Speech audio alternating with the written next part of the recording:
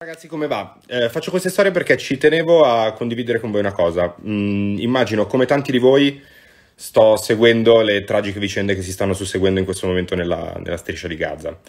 Chi mi segue da tanti anni sa benissimo qual è il mio pensiero in merito, però mm, non voglio uh, accodarmi al coro delle tifoserie in questo momento perché non credo restituiscano nulla di costruttivo al dibattito, anzi credo siano delle strategie che abbiano fatto anzi abbastanza danni, rivelate abbastanza distruttive in questi decenni. Um, credo però che ci siano delle persone eh, che riescono meglio di altre a farci sentire vicino un problema anche se molto distante da noi.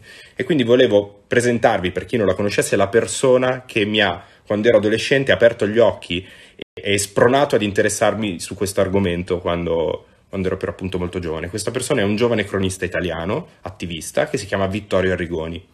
Vittorio Arrigoni è, eh, anzi era, un uh, giovane cronista italiano, tra l'altro è stato iscritto ad honoris causa tra i cronisti italiani proprio in occasione della giornata mondiale della libertà di stampa. Lui per anni eh, è stato un attivista nella striscia di Gaza, eh, aiutava i civili e cercava di raccontare quello che avveniva sul territorio.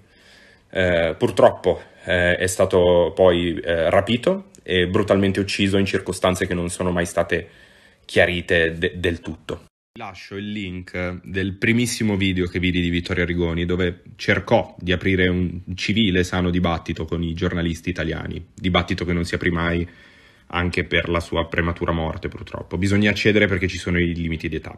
Trovo assai più utile cercare di dare eco e risalto ad una voce come quella di Vittorio Arrigoni, un italiano che in prima linea sul campo ha cercato di aiutare dei civili in una situazione di guerra al punto di arrivare a, sacrificare la propria vita per questo, piuttosto che dare la mia sterile opinione che lascia il tempo che trova in una situazione assai complessa.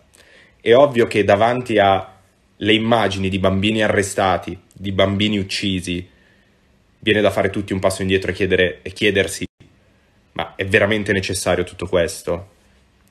Verrebbe anche da chiedersi qual è la posizione del governo italiano, del governo che ci rappresenta davanti all'uccisione di bambini. Questo forse me lo chiederei.